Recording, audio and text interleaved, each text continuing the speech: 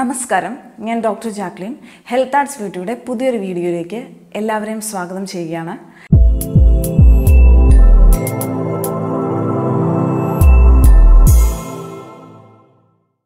ഇന്ന് ഞാൻ നമ്മൾ അധികം ആരും ഉപയോഗിക്കാത്ത ഒരു അരിയെക്കുറിച്ച് ബാർലി അരിയെക്കുറിച്ചിട്ട്.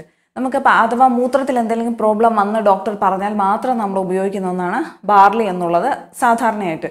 പക്ഷേ ഇതിന്റെ ഔഷധ ഗുണങ്ങൾ അറിഞ്ഞു കഴിഞ്ഞിട്ടുണ്ടെങ്കിൽ നിങ്ങളെല്ലാവരും തീർച്ചയായിട്ടും ഇത് ഉപയോഗിക്കാൻ തുടങ്ങും. ആദ്യമായി തന്നെ പി സി ഒ എസ് ഉള്ള ഈ പോളിസിസ്റ്റിക് ഓവറിയൻ സിൻഡ്രോം ഉള്ള ഓവറിയിലൊക്കെ സിസ്റ്റുകളുള്ള അല്ലെങ്കിൽ യൂട്രസിന് എന്തെങ്കിലും കംപ്ലൈന്റ് ഉള്ള സ്ത്രീകൾ കഴിക്കേണ്ട ഭക്ഷണങ്ങളിൽ മുൻനിരയിൽ നിൽക്കുന്ന ഒന്നാണ് ബാർലി എന്ന് പറയുന്നത്. അത് പലർക്കും അറിവില്ലായ്മ കൊണ്ട് ഉപയോഗിക്കാറില്ല എന്ന് മാത്രം. അപ്പോൾ പി സി ഒ എസിനും ഉപയോഗിക്കാൻ പറ്റുന്ന ഏറ്റവും നല്ല ഒന്നാണ് ഈ ബാർലി അരി. അപ്പോൾ അതിന്റെ കഞ്ഞി വെച്ച് കുടിക്കാം അല്ലെങ്കിൽ അത് വെന്ത് വെള്ളം കുടിക്കാം. ഈ രണ്ട് രീതിയിലും സാധാരണ ബാർലി കഴിക്കാം അതുപോലെ തന്നെ ബാർലി പൊടിയും ലഭ്യമാണ്. അത് വെച്ച് വെള്ളം ഉണ്ടാക്കി കുടിക്കാവുന്നതാണ്. അടുത്തതായിട്ട് ഇത് ആർക്കൊക്കെ ഇത് ഉപകാരപ്രദമാണ് എന്നുള്ളതിനെക്കുറിച്ച് പറയാം. ഇതിന് സാധാരണയായിട്ടും കുറഞ്ഞ ഗ്ലൈസമിക് ഇൻഡെക്സ് ഉള്ള ഒരു ധാന്യമാണെന്ന് പറയും. അതായത് പ്രമേഹ രോഗികൾക്ക് ഉപയോഗിക്കാൻ പറ്റും. നമ്മൾ ആഹാരം കഴിച്ചു കഴിഞ്ഞ് ഈ ബാൽ ദഹിച്ചു കഴിഞ്ഞാൽ സഡൻ ആയിട്ട് ഗ്ലൂക്കോസിനെ ബ്ലഡിലോട്ട് വിടുകയില്ല. അപ്പോൾ അതിനൊരു മാനേജ്മെന്റ് ഉണ്ട് അതുകൊണ്ട് തന്നെ നിങ്ങളുടെ ബ്ലഡ് ഷുഗറിനെ കറക്റ്റായിട്ട് നിയന്ത്രിച്ച് നിർത്താൻ വേണ്ടിയിട്ട് ബാർലിക്ക് കഴിവുണ്ട്. അതുകൊണ്ട് പ്രമേഹ രോഗികൾക്ക് കഴിക്കാൻ പറ്റിയ ഒന്നാണ് ബാർലി എന്നുള്ളത്. പ്രമേഹത്തെ നിയന്ത്രിക്കുകയും ചെയ്യും. അതുപോലെ ഓവറായിട്ട് തടിയുള്ളവർ പൊണ്ണത്തടിയുള്ളവർ അതുപോലെ വയറ് കുറയുള്ളവർ അതോ അവർക്കൊക്കെ ഉപയോഗിക്കാൻ പറ്റിയ ഒന്നാണ്. കാരണം എന്ന് പറഞ്ഞാൽ നമ്മളിപ്പം നിങ്ങൾ ഓവറായിട്ട് ഫുഡ് കഴിച്ചിട്ടാണ് നിങ്ങൾക്ക് തടി വരുന്നതെങ്കിൽ ബാർലി ഏറ്റവും നല്ല ഒരു ഓപ്ഷനായിട്ട് വരും. കാരണം നിങ്ങൾ ബാർലി കഴിച്ചു കഴിഞ്ഞവർക്കറിയാം അത് കുറച്ച് ഡൈജസ്റ്റ് ചെയ്യാൻ കുറച്ചൊരു ഗുരുവായിട്ട് കിടക്കും. അതായത് നിങ്ങൾക്ക് വിശപ്പ് അധികം നേരത്തേക്ക് അനുഭവപ്പെടുന്നില്ല.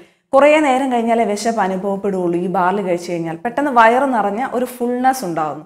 അതുകൊണ്ട് തന്നെ നിങ്ങൾക്ക് വെയിറ്റ് ലോസ് ഡയറ്റിലൊക്കെ ഇത് നിങ്ങൾക്ക് ഉപയോഗപ്പെടുത്താം. അതുപോലെ ഇൻഫെർട്ടിലിറ്റിയുടെ ട്രീറ്റ്മെന്റ് എടുക്കുന്ന സ്ത്രീകൾക്ക് വളരെ ഗുണപ്രദമായ ഒരു ധാന്യമാണ് ഈ ബാർലി എന്നത്. അവരുടെ ഓവറിയുടെയും യൂട്രസിന്റെയും ഹെൽത്തിന് വേണ്ടിയിട്ട്.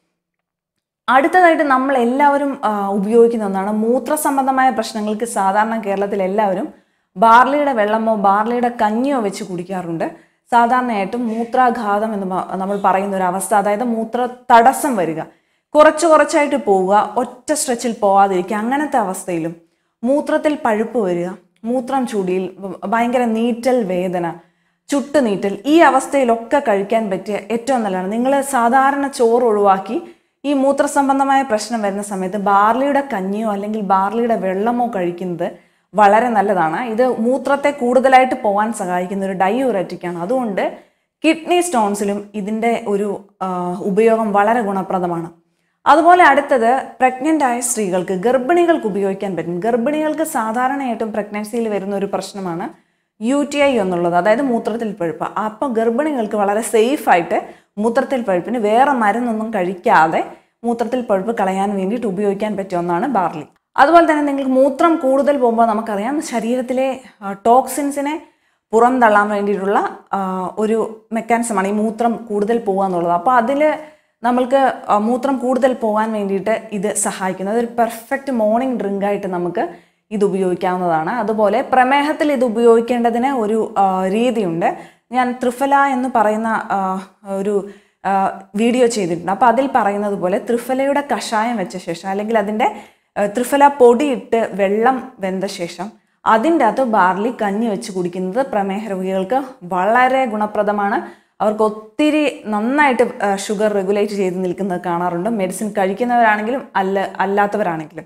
അപ്പോൾ ബാർലിയുടെ വെള്ളം എങ്ങനെയാണ് ഉണ്ടാക്കുന്നത് എന്ന് ഞാൻ പറയാം. ഒരു കാൽ കപ്പ് ബാർലിയാണ് അതിനായിട്ട് ആവശ്യം. നാല് കപ്പ് വെള്ളത്തിന് കാൽ കപ്പ് ബാർലി എന്നുള്ള രീതിയിൽ ഉപയോഗിച്ചാലാണ് അതിന്റെ ഔഷധ ഗുണം നിങ്ങളുടെ ശരീരത്തിലേക്ക് എത്തുക.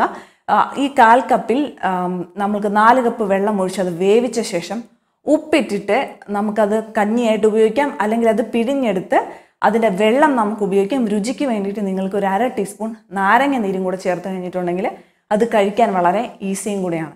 അപ്പോൾ ബാർലിയെക്കുറിച്ച് ഞാൻ നിങ്ങളുമായിട്ട് ഈ വീഡിയോയിൽ പങ്കുവച്ച അറിവുകൾ ഉപകാരപ്രദമായെന്ന് കരുതുന്നു. മറ്റൊരു ഉപകാരപ്രദമായ വീഡിയോ ആയിട്ട് വീണ്ടും കാണാം. നന്ദി.